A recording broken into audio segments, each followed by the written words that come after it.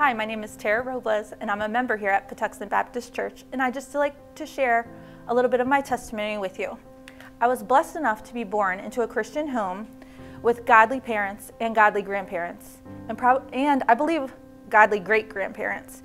My grandfather is actually a pastor, and on the other side of my family, my great grandfather is a pastor, so there was no doubt that the Bible was definitely in our home.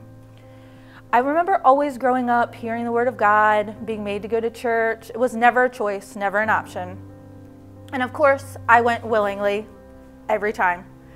So I was told, yes, you were saved when you were younger. I remember it so vividly. You were on the porch and you prayed and you asked Jesus to come into your heart. And I just kept thinking in my head, oh, that's great. So I'm saved. But around when I was seven or eight, it really hit me. I really am not saved. I was at one of my family members' houses and we were watching A Thief in the Night.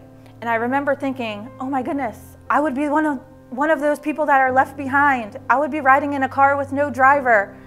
And when my parents got back from wherever they were, I remember going to my dad and telling him, Dad, I am not saved. And I remember them saying, Are you sure? I remember that you got saved when you were younger. And of course, they weren't trying to make me be saved.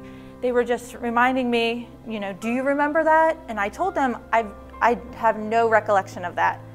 So right there in the same house, we prayed and I asked Jesus to come into my heart and to save me and take me to heaven. And I'm so blessed that they didn't just try to talk me into it, that yes, you were saved and yes, I remember it. So I do have that assurance that on that day, I accepted Jesus to come into my heart and to save me. And I'm blessed that I have now married a man that was also raised in a Christian home, and his grandfather is also a, was also a pastor. So our children have a very godly heritage, and we hope to pass that on generation through generation.